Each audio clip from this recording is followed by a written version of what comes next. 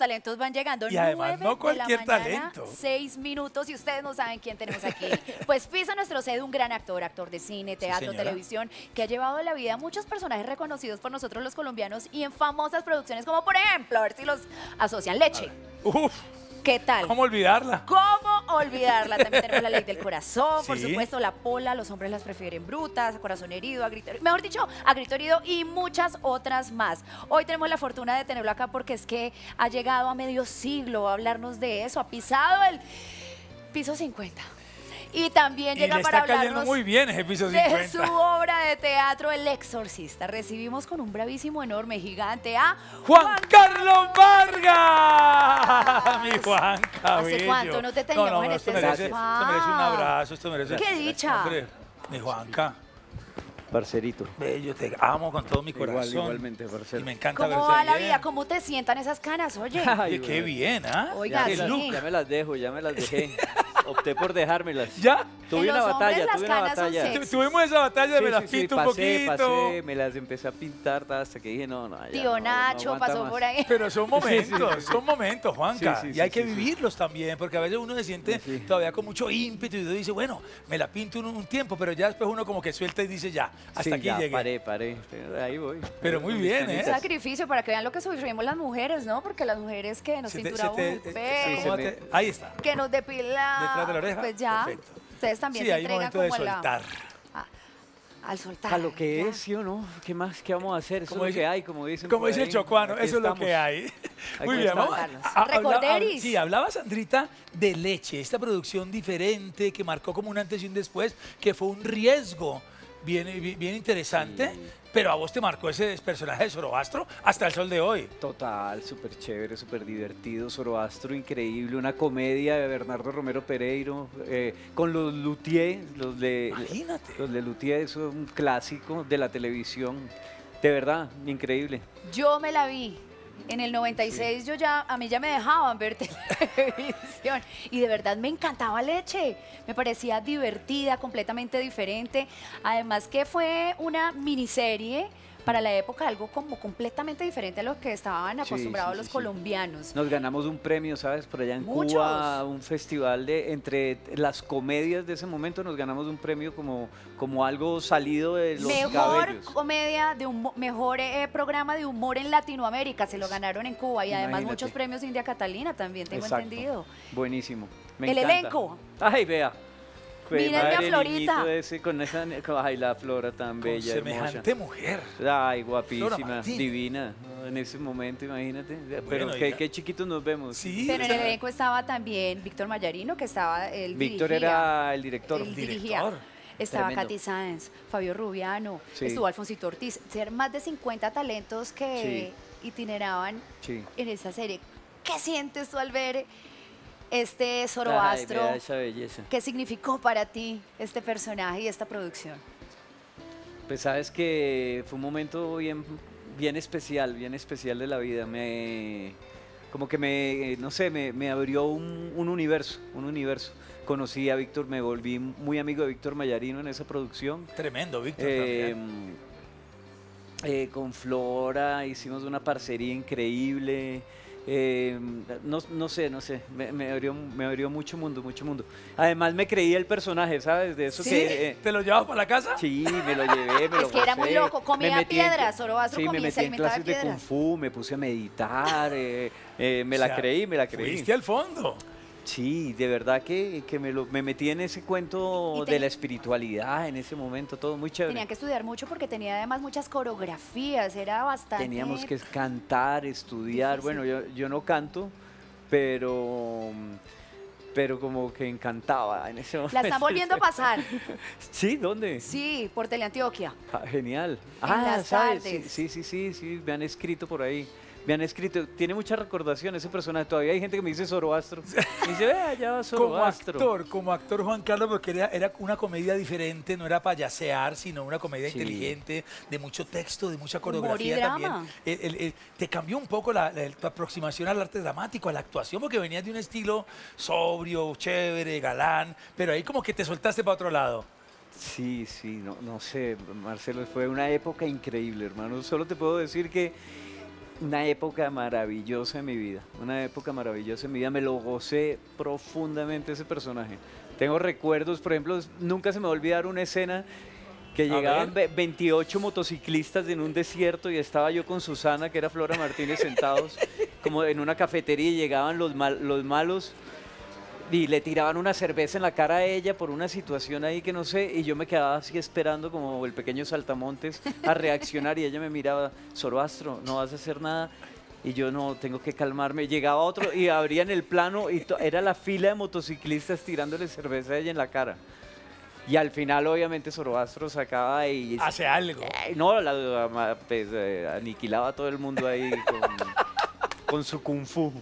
Bueno, de Bueno. Zoroastro nos vamos a Edwin, que es sí. completamente diferente Sí, este cosa, personaje, claro. director de noticiero. Estamos hablando de A grito herido. Sí, Qué buena, experiencia, buena, buena. Juanca. Tremendo, hermano. Me mató, Buenísima. me mató tu personaje. Sí, gracias. Sí, me gustó Chévere. porque estaba, estaba apoderado del set, íbamos a grabar Sí, y confrontaba a, la- a las personas. Tenía un carácter, tuvo un carácter y en- tiene un Sí, carácter. sí, sí. Triángulo No, y amoroso. una producción impresionante, impecable. Imagínate, o sea, grabábamos tres escenas diarias. Uf, qué dicha. Imagínate hacer tres escenas diarias, o sea, meticuloso todo, la luz, el equipo que había detrás, o sea, el crew, impresionante, el director de fotografía. Alguien muy importante en esta producción con el cual Y- y tuviste el- y escenas. super El elenco. Sí, eso, señor. Alguien del elenco con quien tuviste escenas muy interesantes de confrontación, de hombre a hombre, levantó la manito y tiene este saludo para vos. Ay, ¿Quién ay, Mira, ay. Juan será? Carlos.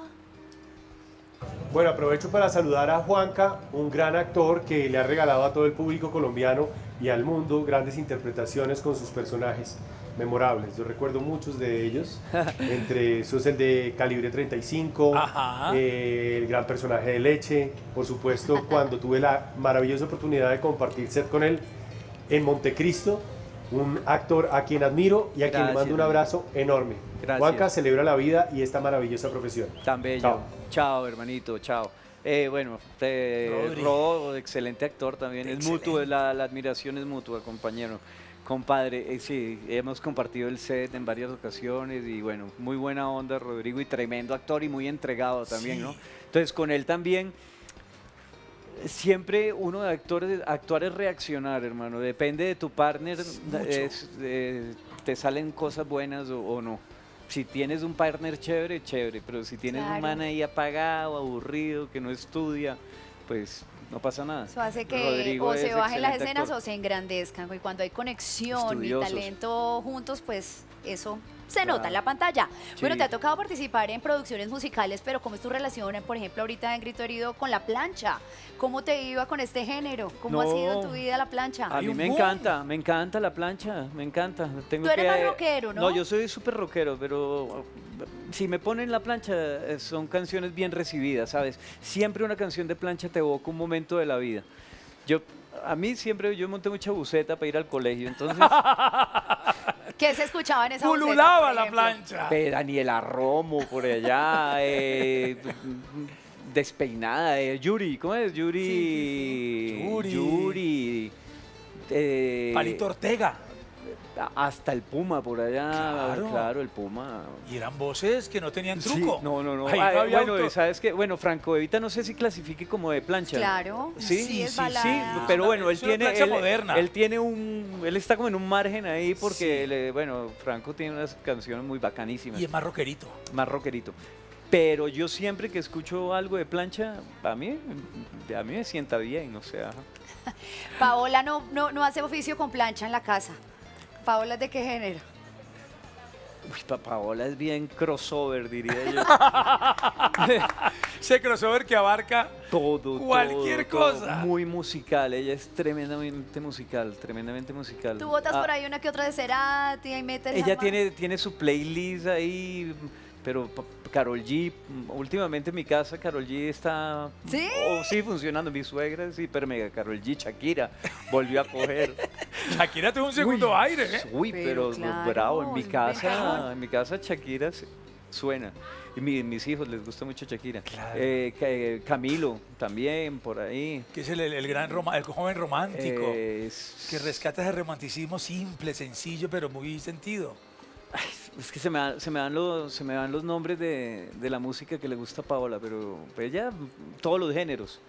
Oye, Todo, antes, todo, todo. antes eh, no sé, no sé si se ponen ustedes a pensar que antes el que lideraba el sonido pues era el papá y la mamá. Ahora los niños en la casa son los los que manejan la tecnología. Claro. O sea, Claro. se cambiaron los roles. El mío, el mío es muy Camilo, muy Yatra, también le gusta mucho Yatra. Fue su primer concierto de Yatra. ¿Y lo vio en el Movistar Arena? Sí, hermano, vieras ese pelado. Bueno, Eh, madre, eso sí Ah, se la gozó.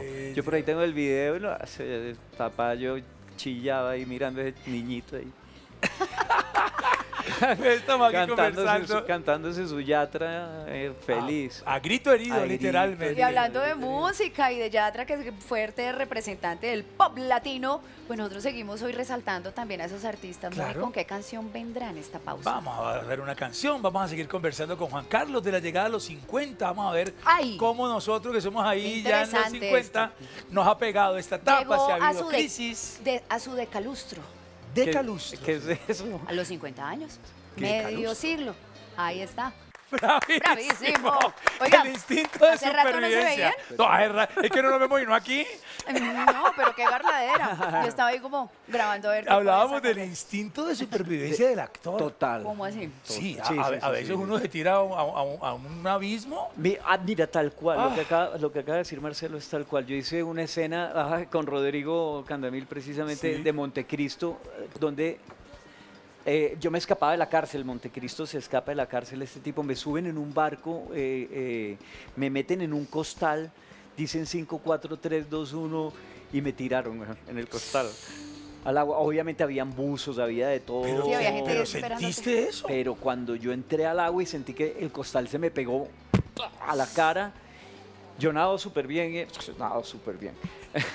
Aquaman. Pero, No, podía ser Aquaman y- también. sa- y salí así, no mentiras. Pero te dio pánico, pánico la claustrofobia. claro, claro, pero es lo que dice Barceló, dicen 5, 4, 3, 2 y tú cuando te das cuenta haces vainas que, que ni- no eres pensar. apto, montas caballo, te tiras de parapente, Lo que haya que lo que venga, venga, 5, Todo por amor al arte.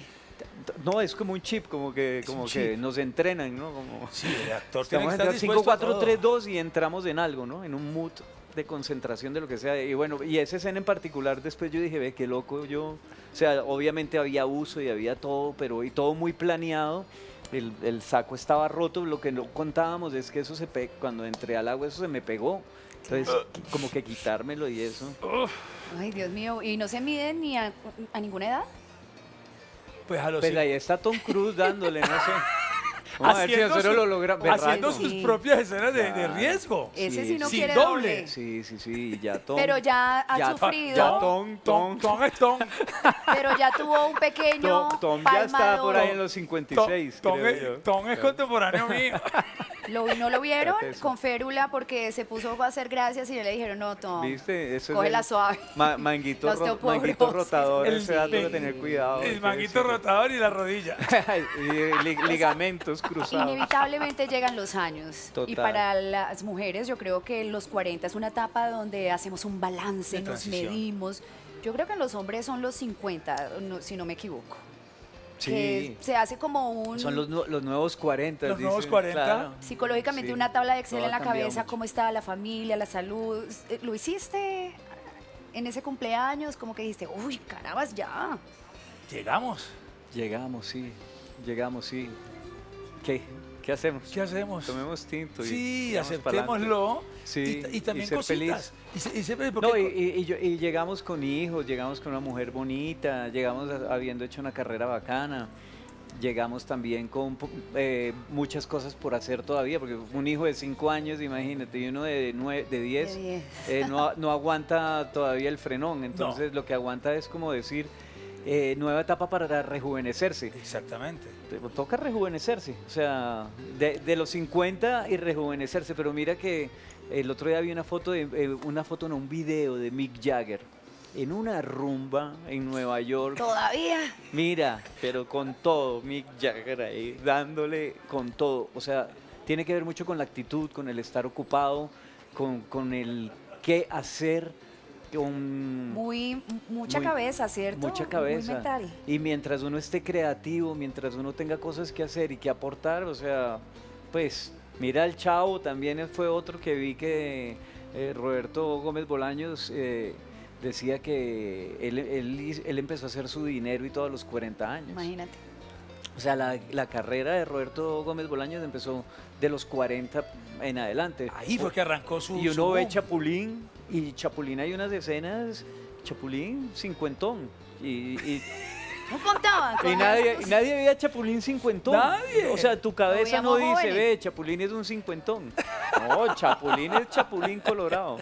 Un superhéroe cincuentón. Pero también hay un tema, un, Aguanta. compone- un componente también, como dice Sandrita, como de hacer un balance, ¿no? Como que, bueno, arranca una nueva etapa, uno ve que, que de pronto está más cerca de una jubilación, de una pensión, qué sé yo. Sí pasan cosas por la cabeza de, de planificación, de futuro, futuro. ¿no? Eso sí hay que aceptarlo. sí, uno ve- que, uno ve eh, un ya en sí. 12 años ya tengo edad, a ver. lo Ya hice. Oliver va para la universidad y Leo. o sea, ¿Cómo voy a, a- a costear esas No, universidades? eso- no, y los papás de uno ya llegaron a edades ya donde ya son Noventones. Sí, claro. Entonces, Eso es duro. eh, también eh, actores con los que uno ha trabajado o, o trabajó ya, uno ve que, uy, entraron en edades ya Sí. de 70, 75, rapidísimo. Rápido. Entonces, sí, como yo, no, no solo eh, el dinero, sino pensar en la salud.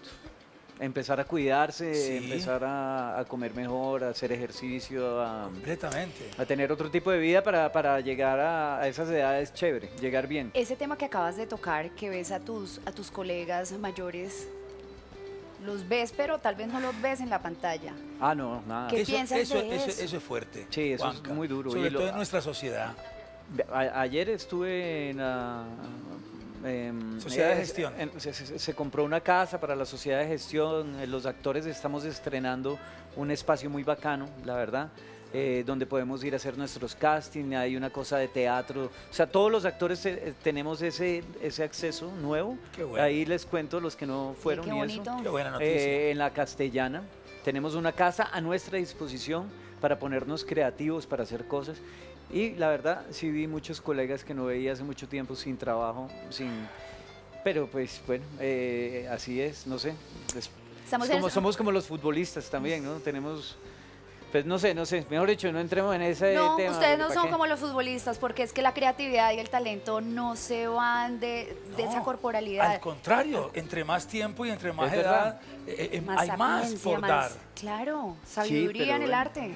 eh, Acá no lo ven así. Así es, así es. Y sí, vi mucho colega, y, y- e incluso colegas que no veía hace mucho tiempo. Y, este tipo es tremendo actor, este otro es tremendo actor, este otro es tremendo actor. Y cuando me di cuenta estaba rodeado de actores Eminencias. impresionantes que hace mucho rato no trabajan. Claro. O bueno. uno no los ve. Esto nos da para hacer Sí, una Hay dinámica, unas banderas atrás, Juanquita. unas banderitas que tienes en tu espalda. Ahí hay unas banderas acá. A- Porque vamos a, a tocar este tema con una dinámica de rojo o verde, de estamos de acuerdo, nos ha pasado. ¿Qué, qué podríamos cambiar? A través de preguntas. Si ¿Listo? estás de acuerdo, la verde. Ok. Y si no, definitivamente la bandera roja. ¿Qué ¿Es dice? inevitable pasar por la crisis de los 50? ¿Es inevitable? Uy, yo no sé. yo creo que ¿Cómo así? Que, no sé si llegará el día O de los sea, 50, hay puede que ser pasar a por los una crisis. 52. Sí, hay que pasar sí o sí. Yo no la sentí, ¿eh? Yo no la sentí. Bueno, Tengo amigos ¿Ya que sí la sintieron. 50? Sí, sí, hace rato. ya estoy a dos cuadras de la otra década. pues todas las edades tienen crisis, todas, hasta Todas. los 30 también, o sea, También. los 20 también tienen crisis, o sea, to- todas tienen crisis. ¿No? Puede ser microcrisis sí. o Microcrisis, crisis. Pero sí. sí conozco amigos de 50 que están metidos ahí y, y casi que lo obligan a uno a aceptarlo. Pero decime, Marcelo, pero sí, pero sí, pero ay, hombre, vas a negar, ¿qué tal? Que la parte sexual, que esto. Y yo, la verdad, yo no lo he sentido. Eso es subjetivo, eso es para cada persona es, Es diferente. individual. sí. Sí, no, yo, yo, yo, yo es que lo que te digo, tengo hijos muy pequeños, o sea, tengo un hijo de cinco, de cinco años, yo no me puedo poner en No. crisis en este No. momento, o sea, no puedo. ¿Cómo? O sea, no tengo tiempo. No, ¿A qué horas? No, tengo que llevarlo al parque, tengo que jugar Claro. fútbol, tengo que ir al cine, tengo que hacer lo otro, o sea, mi vida, mi vida está empezando, o sea, yo, estamos, Estamos en lo es mismo. que tenemos dos hijos de 5 años. uno está Inyección de colágeno por el lado de la esposa y por el lado de los hijos, no hay forma. Imagínate tú en crisis con un No. nene, con un niño de 5 años. No, él no se lo merece. No se lo merece ni me lo No va a lo- permitir no, acá. No, se lo merece. Mi, hijo se merece un papá activo, se merece un papá que, que esté trabajando. Mi papá, no, yo no puedo llegar a mi casa en una crisis de 50, Así. de 50 Oh. años. Te Tengo coge- 50, ¿Qué papá? ¿Qué- No, y mi mujer, hablando? pues que está ve, tremenda mujer, linda. O sea, No hay eh, forma, no hay Súper brillante, súper pilosa. Imagínate uno en crisis en la casa. ¿qué cartera? Me echan. Viejo, viejo canzón. Sí, viejo cansado. No, no. Entonces, no. Chao. levantemos- Chao, la crisis. Adiós. no hay crisis, no, hay crisis. Vamos, siguiente. Voy con esta. Atención. Y dice, Ush. En el medio de la actuación, la llegada a los 50, lejos de lo que uno pensaría, se podría convertir en un problema. uy, Pues, el edadismo, lo que hablábamos, Sí, pero no estamos de acuerdo, pero es verdad. a las personas. Sucede, sucede. La verdad sí sucede y uno sí lo ve. Y, y es así, es un cambio generacional también. No debería ser así, No no debería. ser así, pero, pero pues aquí en Colombia sí, uno sí lo nota. ¿Te ha pasado que estás muy joven para protagonizar? Muy, perdón, muy viejo para protagonizar, pero muy joven para ser el papá de la protagonista. Hermano, yo hice de, de papá de Diego Cadavid y de otro, de- de Nicolás y bueno, de varios ah, con- compadres que nos llevamos muy pocos años, pues nos llevaremos 10 años, una cosa así. Me pintaban las canas. Ahora que tengo canas, oye, ya no me las tienen que pintar, miren pero, este papá! pero siguen pintándole las canas a los más jóvenes. Ayer hablaba de Ah, eso. mira. Ayer hablábamos de eso, precisamente, me decían, me- pintan las canas a los más jóvenes. Envejecen a los jóvenes. Y eso siempre ha sido así. A mí me envejecían para ser papá de otros. Mm, Así es. Pero hay bueno, muy loco. hay momentos Coherencia donde en el los actor- castings, ¿no? Hay momentos donde el actor, yo, y yo lo estoy viviendo, sí, yo, yo, para- si quiero hacer una carrera como actor ya veterano, yo necesito envejecer, porque si no, voy a quedar aquí ni para allá ni para acá. Sí, entonces uno, a veces como actor hay una etapa que uno dice, oye, ya quiero verme como un señor, como un papá, eh, porque, porque si no queda uno en un limbo ahí que, No, y, que y ni para un lado ni para el otro. y es sabroso aceptar la edad, hermano. Muy de verdad que es rico. O sea, yo, yo no quiero, o sea, yo quiero estar, a- pero quiero estar bien. Lo que te decía Mick Jagger, o sea, tú ves de Mick Jagger, tiene set- 80 años, de- 80. y- pero tú lo vieras en esa rumba, hermano. O sea, era el que más bailaba, el que más... Yo me quedé, yo vi el video como 10 veces pensando en eso. Eh, el baterista también de los Rolling Stones está pegándole esa batería, pero con todo. Duro. Pero, me- mejor dicho, Con no lo para 80, nadie. pero Lo que más le pegarán. Al- bueno, no sé. Ah, sí, bueno. Esos temas no los vamos a tocar. Bueno, vámonos con otro tema que es más interesante y es que estás en Ah. tablas y estamos No, pero con... miren quién ha llegado aquí. Dios mío, ha, llegado, ha llegado un grande de este país. Compañía ilimitada, tal vez- siempre. tal vez él que, no lo que sabe. Es otra, es otra sesión, pero igual aprovecho No, no, porque está- todo está- generacional, hermano, tu música siempre. sí. total, toda la vida. Por favor. Compartimos las calles, en las calles. En la calle. En las cama, calles. Algo bueno va a pasar. Siempre va a pasar algo bueno en Siempre, la calle siempre. con Juan Chupillo Pues que te va a- quedas, te Ya quedas en la próxima entrevista Muy- para que disfrutes muy de su bien, música. Excelente. Bueno, hablemos del exorcista. Ah. Tremenda producción de terror que llega a las tablas y Sí. Personificas al padre Damián. Yo no- Demian Carras. pero si Por ya- eso me estoy dejando la barba así, como el pelo y tal, el, el look así como medio Estás en sacerdotal. proceso. Estoy en proceso De creación de personaje. creación de personaje, el de Demian Carras, el exorcista. ¿Quién no le dio miedo el exorcista? No. Ah, pucha, que diga aquí el que no vio el exorcista y no me murió el me la susto. puedo ver varias veces, igual me, Me toca con Tena. Me retiré del género del terror después de ver El Exorcista. Nunca más en mi vida pude. Linda Blair me parecía divina, esa la chinita. Después de verla en El Exorcista, Dios mío. Pero porque qué crees en esas, en esas que- los actores que han participado en este tipo de tenido, producciones terminan cosas. teniendo actividad paranormal en su vida. Pues no, yo no, le voy a- me voy a meter en ese rollo porque imagínate, lo estoy haciendo yo. Pero sí me dio mucho susto El Exorcista. Obviamente nosotros ahora estamos más en la parte de de la el- técnica actoral, ensayos, todo, entonces como que esa parte, como que toda, no me he metido en esa parte, ¿sí me entiendes? Porque estamos desde que eso salga perfecto. Pero me contaron que la puesta en escena es terrorífica, las luces, la animación, Sí, eh, sí, sí, el humo, todo nos va a adentrar en esta historia que de verdad hay que llevar las uñas largas. Sí, sí, sí, sí, sí, tal cual. El exorcista es tremenda gé- género de terror. O sea, impresionante. Y además van a hacer la segunda parte ahora del exorcista en cine. Eh, se murió, creo que fue el, el libretista, el creador, entonces como que, como que está, como que nos coge como con un furor, como, como Sí. que viene con un tema y... ¿Es No familiar? baile. ¿Pueden ir niños? No, No, no, no, no, no, no, no puede ir niño, Dios. No, eso es una obra. Imposible. no, no. El Ay, yo, a mi sobrinito le encantan las de terror. ni- ni niños ni, ni solos vayan, vayan Ni con cardíacos. alguien- Con alguien a quien cogerle la pierna, a quien espichar. Y es que hay quien- garantía en el género quien- porque está Perrini. A Sí. quien gritarle en el Perrín, oído. Cuéntanos del combo con el que estás. Pues yo eh, está, em, bueno, el maestro Perrín, está mm, eh, Alana de la Rosa, está, bueno, muchos chicos nuevos. Robinson Díaz. Robinson está alternando personaje conmigo. Claro, ellos hacen el mismo personaje. O sea, cuando no lo hace Robin, lo hago yo. Lo cual para mí es un reto tremendo porque admiro profundamente a Robinson, es tremendo actor. Entonces ahí me la pusieron. Hay nivel de lado y lado. Hay nivel, hay nivel. Y además que Robinson te escogió a dedo, Juan Carlos, eso hay que decirlo porque Sí, muchas veces se hacen las y audiciones Adriana.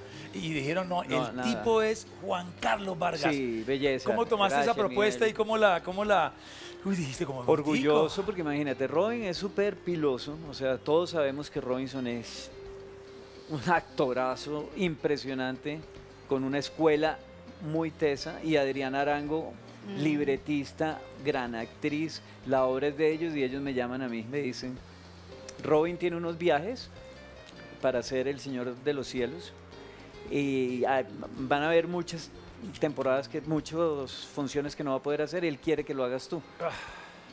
Entonces, eh, orgulloso, feliz, camellando muy duro. Pero somos grandes amigos, hemos hecho muchas cosas juntos. Muchas, hicimos La Mujer del Presidente, hicimos La Dama del Pantano, hicimos dos películas juntos, Calibre 35, hicimos otra que se llama Te Amo, Anelisa. Entonces, como con Robinson, sabemos que cuando nos vamos a dar cachucha es... Es a darle. Parejo. Y somos los últimos en irnos y él me mira a mí, estamos ensayando juntos y, y el man me, me da duro, pero yo también le doy duro a él y nos Se duro. retan, esos son versos. Es lindo, es lindo. ¿Dónde, es cómo, lindo, cuándo? El exorcista.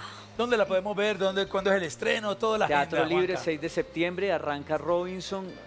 No se la pueden perder, de verdad, hablando en serio. No se la pueden perder porque es una experiencia. O sea, no solo es ir a ver eh, a, los actores hacer un gran trabajo, sino es, meterse en ese universo del susto, del miedo, de todo. Y, vivir una escenografía que está hiper mega bien montado, con unas luces tremendas y un guion que ha, bueno, un libreto, en este caso que ha ganado ya premios y todo en Broadway, le, le fue súper bien.